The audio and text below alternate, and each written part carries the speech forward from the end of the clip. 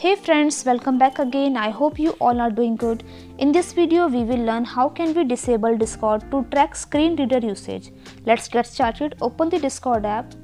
Click on the setting icon on bottom of the screen on the right side. Now go to privacy and safety here. Scroll down.